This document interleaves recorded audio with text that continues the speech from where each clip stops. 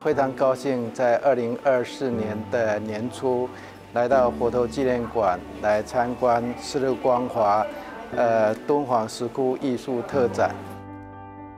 在这个展场里面看到琳琅满目的展品，那最主要是看到这么多的观众，就知道这个展览是非常非常的成功。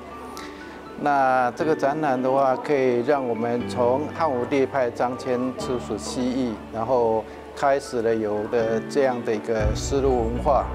那在这个丝路之旅中间，有一个非常重要的就是敦煌。那敦煌的话，我们知道敦煌石窟是呃千古以来东方佛教艺术的一个非常重要的据点。那在这个石窟里面的话，从莫高窟、从呃西千佛洞、东千佛洞五个石窟里面，我们可以看到，呃汉朝之后，呃魏晋南北朝、唐、宋、元朝中间的各种不同时期的呃有关佛教艺术。那这中间当然包括建筑、包括雕塑、包括彩绘的作品。从这些作品里面，我们可以看到，呃，中国美术史上各种经典。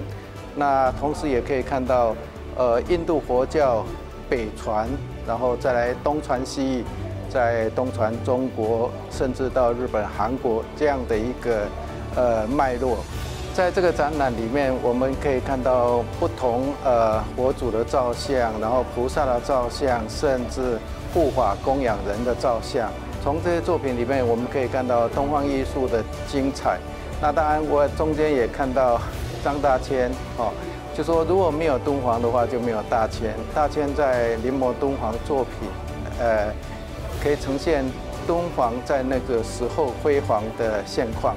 虽然展出的作品的话是根据敦煌目前就说比较接近现况的，很多色彩的话都已经斑驳褪掉了，可是。原来的敦敦煌的面貌的话，我想非常非常的辉煌，可以呈现东方意识的一个最精美的极致的表现。